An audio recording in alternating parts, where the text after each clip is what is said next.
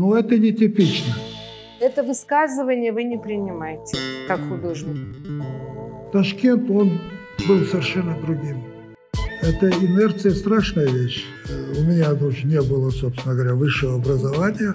Это была эпоха, когда я не мог определиться, понимаете. Но я не могу с вами согласиться. Если тогда были пиджаки и брюки, сейчас чопан и тельпек. Дело в том, что это неожиданность и для меня тоже.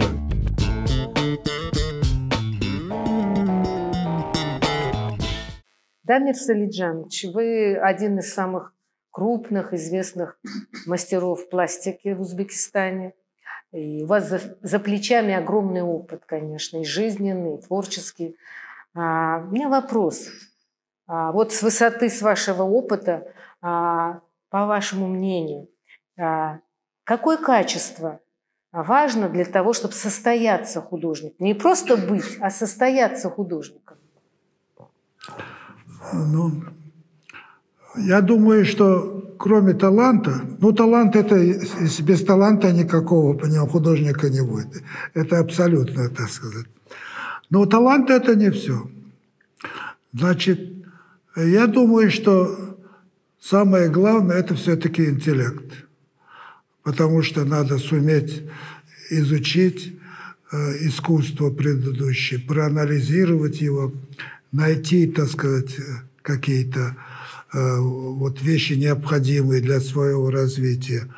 Э, это значит, э, нужны знания определенные, и без этого никуда не денешься.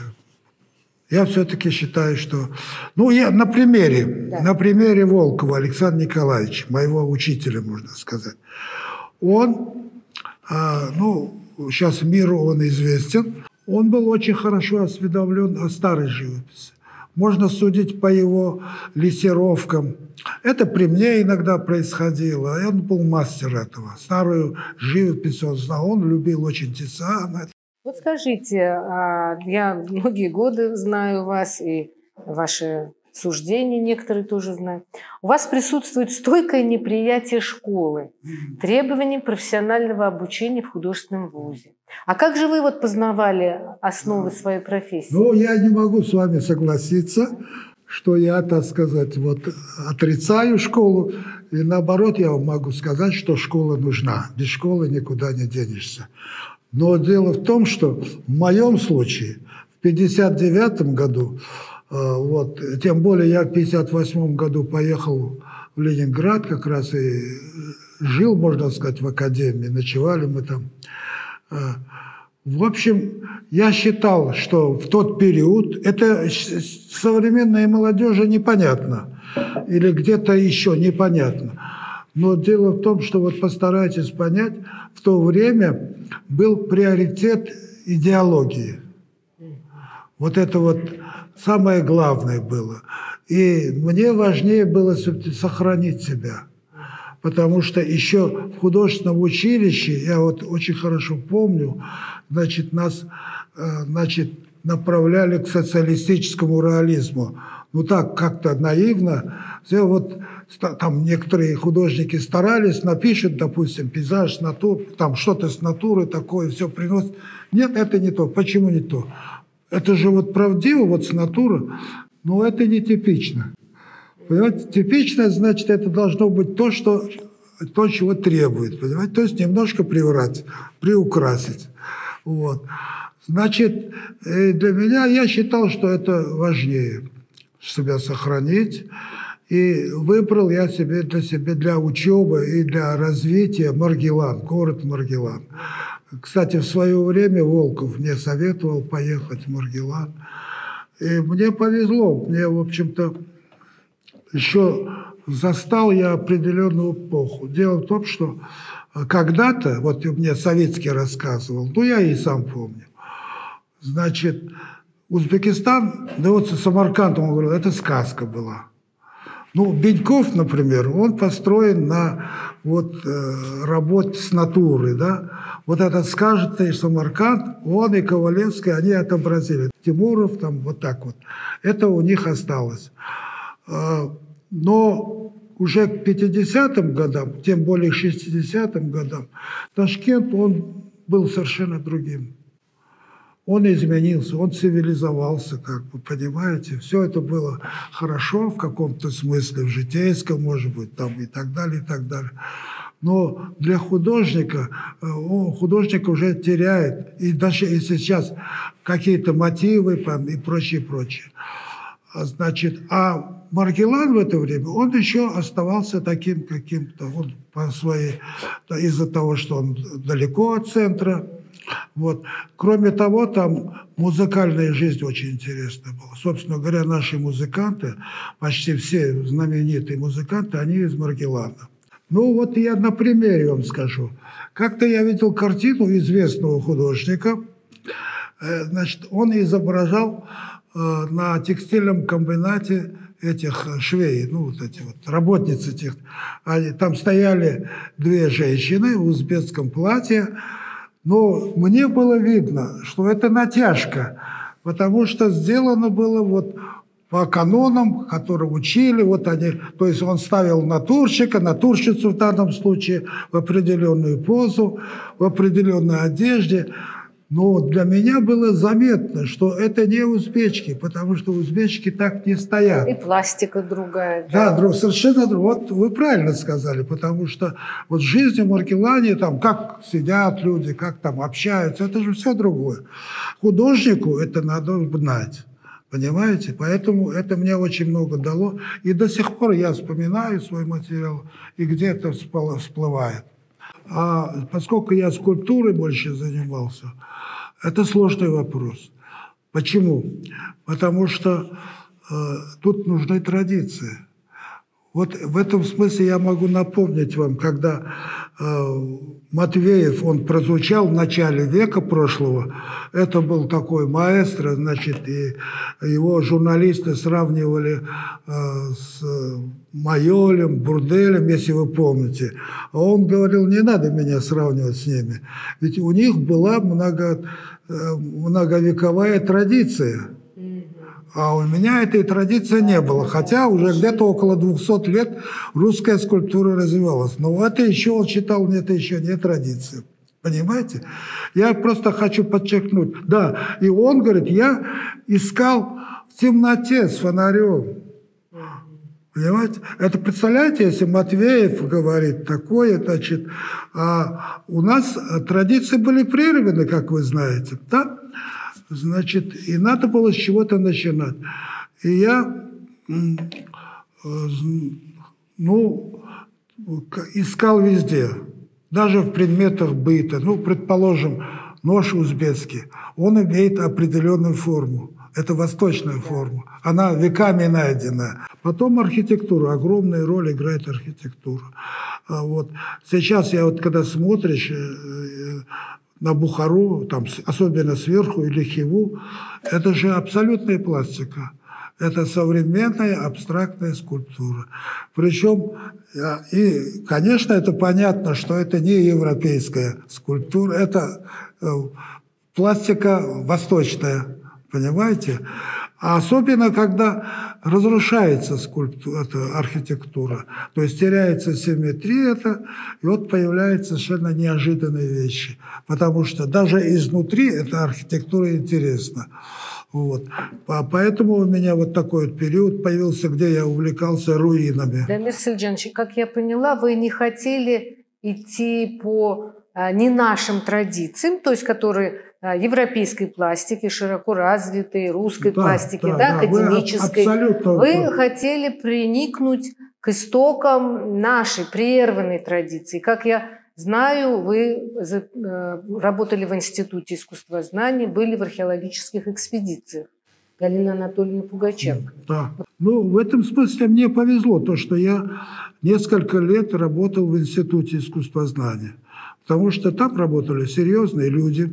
Я сейчас не буду перечислять, вы, вы все да. знаете. Ну, Галина Анатольевна Гали... Ну, не только. У меня, я, например, с удовольствием вспоминаю Федоровича Евгения Федоровна. Это непосредственно мой начальник, э, заведующий лабораторией. Значит, благодаря ей я понял, что такое глина.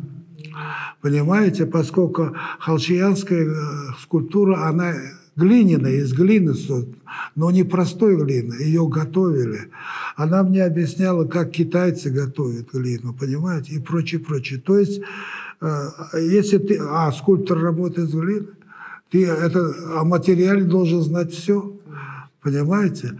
А тем более, что я э, предпочел работе, вот такой традиционной работе в, в жирной пластической глине, потом с переводом э, в гипс и так далее, и так далее. Меня это не очень. Я редко прибегаю к этому методу. Я люблю делать в глине и сохранять ее. Ну, естественно, это, это из-за это сам, обжигать надо, и это позволяет еще делать в цвете и прочее. Так что институт был как бы для меня определенной школой. Ну, тем не менее, Халкиян и вот древняя такая кушанская пластика, я вижу, что повлияли на ваши работы. Конечно, конечно. Я уже вам сказал, что я понял, что такое глина, вот как с ней работать там и так далее, и так далее. Потом, э, ну, я уже и писал об этом, вот эти вот портреты. Э, в основном головы сохранились там, понимаете? Это потрясающе. Причем меня поражало, знаете, что я почти узнавал людей. Вот а, одна голова там из этих принцев, она была нам похожа на моего брата. Вернее, брат был похож. А у нас был Абрамов такой керамист, если вы помните. Я его тоже нашел среди них. То есть они очень достоверные, вот как паюмские портреты. Понимаете?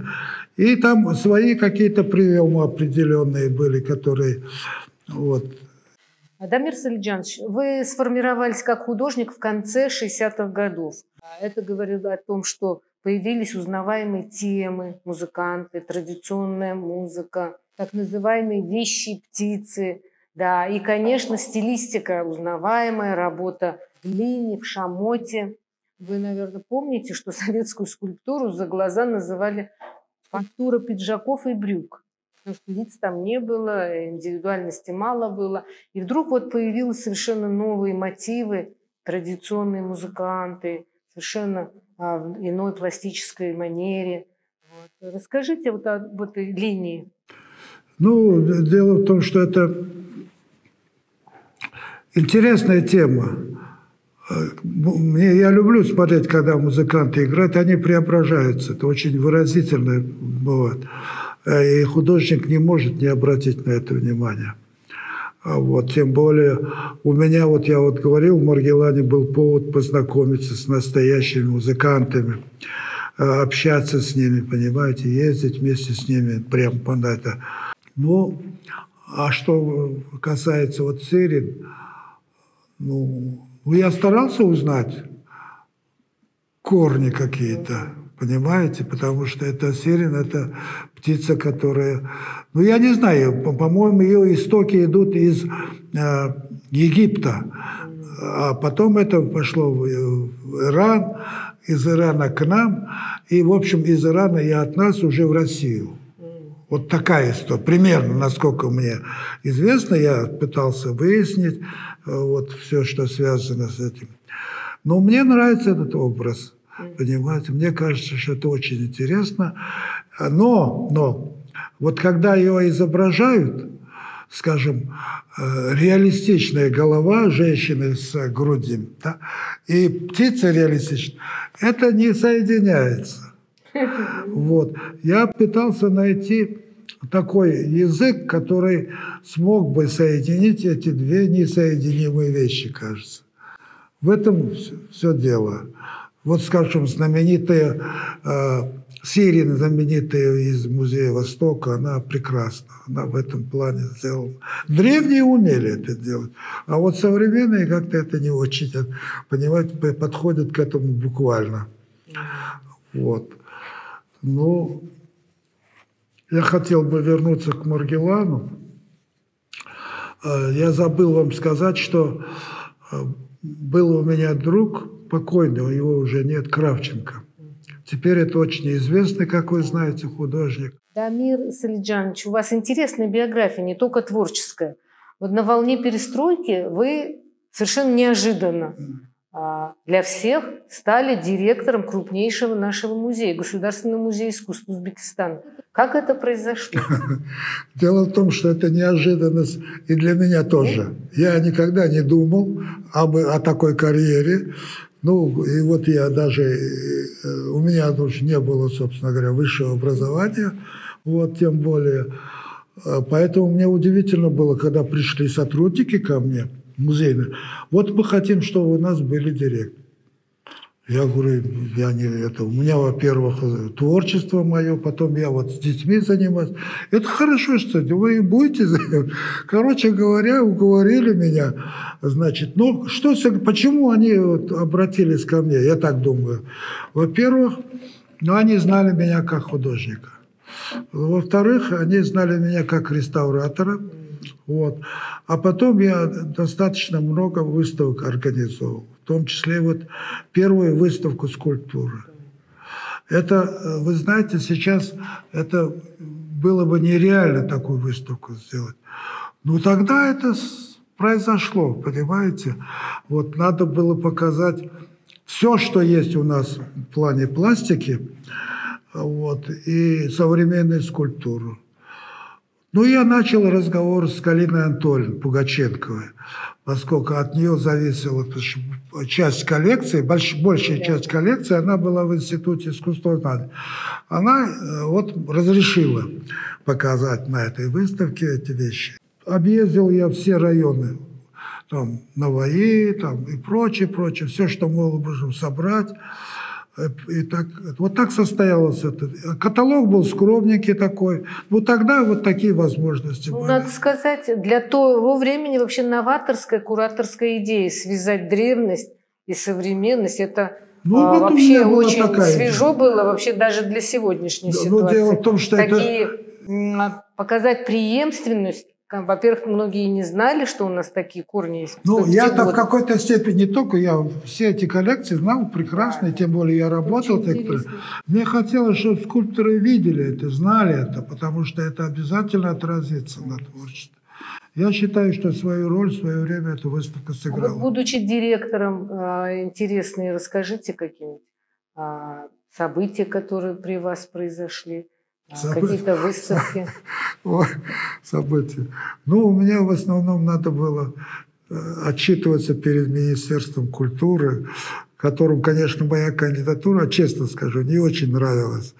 Вот, поэтому комиссии было достаточно. Это отвлекало от главной работы. Но я считаю, что кое-что, конечно, это был очень тяжелый период, когда мы не могли покупать. Даже зарплату получить, это была, вот сумм купоны, когда были, это была большая проблема. Я уже не говорю о закупках. Но, тем не менее, вот благодаря особенно связям, особенно связи с Третьяковской галереей, э, я знал, что в фондах музея есть хорошие вещи. Мало того, в свое время, когда я был еще студентом, Такташ попросил меня, мы с ним жили в одной квартире, мы с ним так подружились чуть не давно как бы. Он говорит, Дамир, помоги мне, я завтра иду в музей смотреть в этот самый работы, значит, там надо будет смотреть, помогать. Ну, я сюда в музей с удовольствием пошел, и вот мы разворачивали эти рулоны. Все это было в рулонах.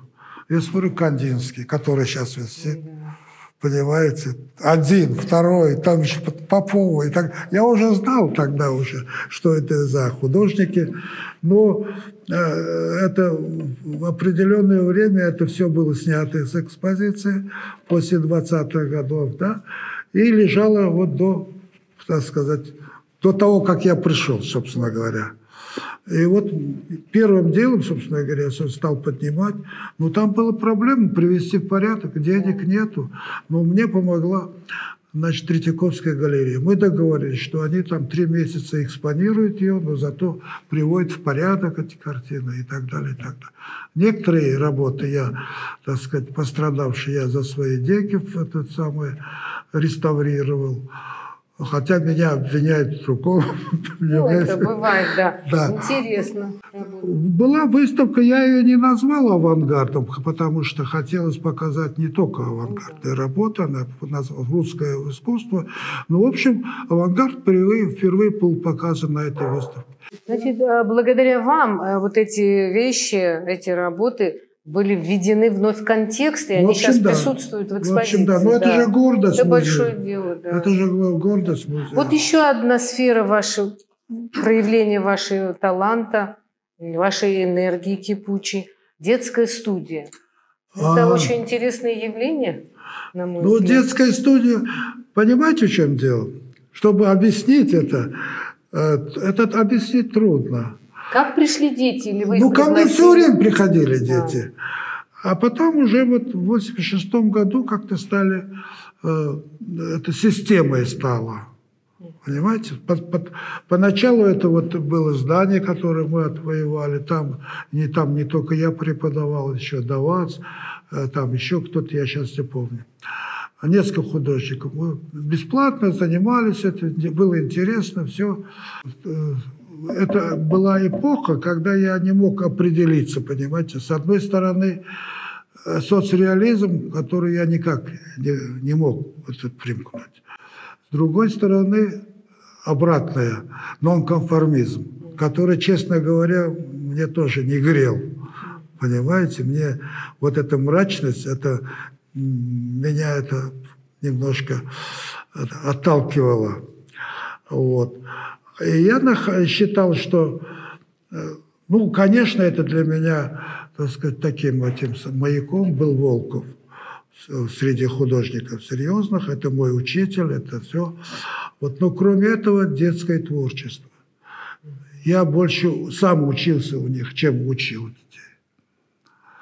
а учить у них, вот у вас там есть вопрос такой, что главное, да, в, Методика. в методике, я могу сказать, у меня были разные периоды, это э, возраста художники, ну, во-первых, дети, с которыми я очень любил заниматься.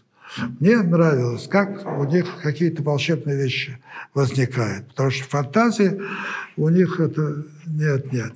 И когда я показал в Москве выставку детских работ, там, скажем, так Борис Орлов, знаменитый теперь скульптор, он вас, ходил, восхищался, как это можно придумывать некоторыми работами.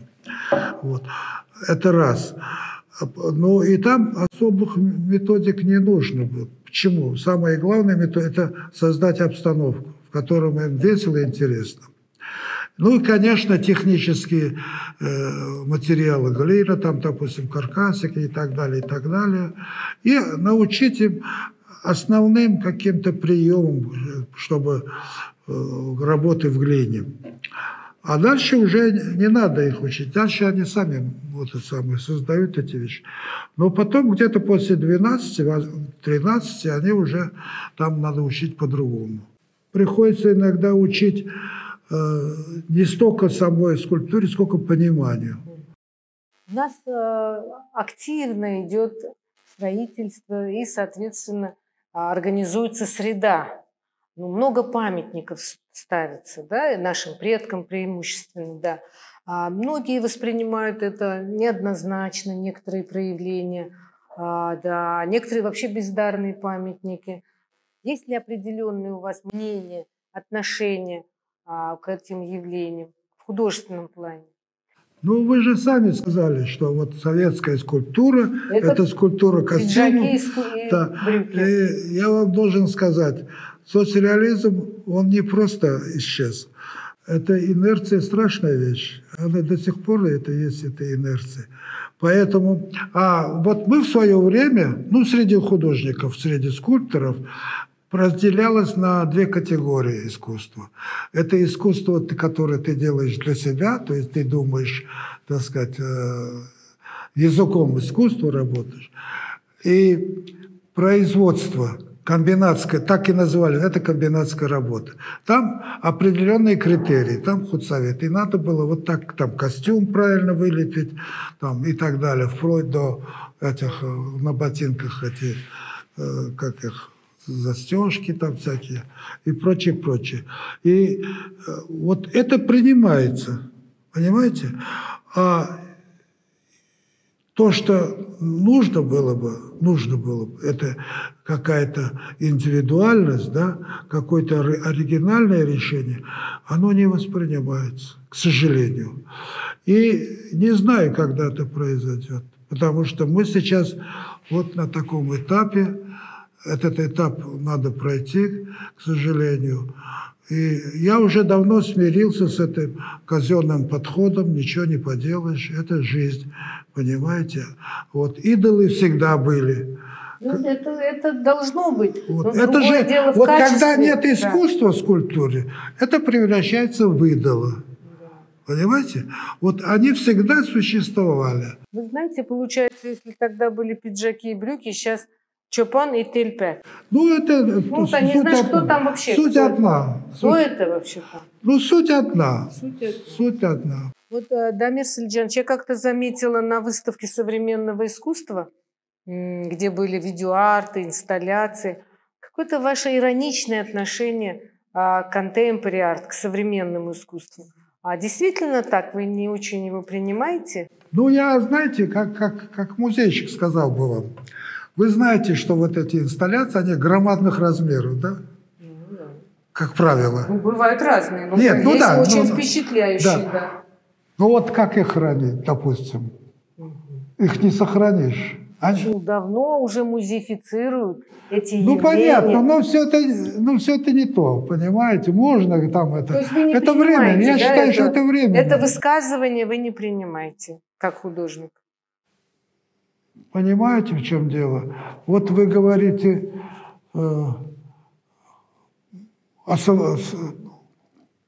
что я думаю о современности, да, да? Да, о современном да, искусстве.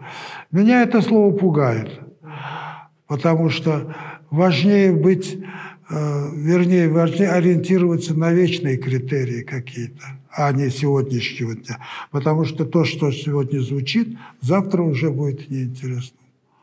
В большинстве случаев, если это не подлинное. Нет, многие обращаются, современные художники, к универсальным проблемам, а не вечным даже.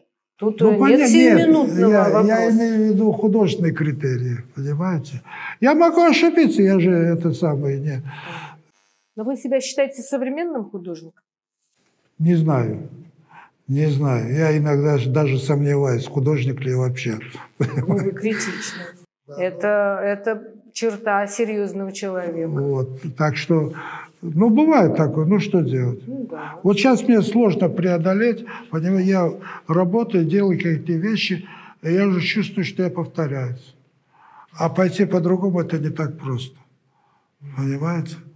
Вот, поэтому э, художник не может быть спокойным всю жизнь. Спасибо, Дамир Сальджанович, да. большое вам.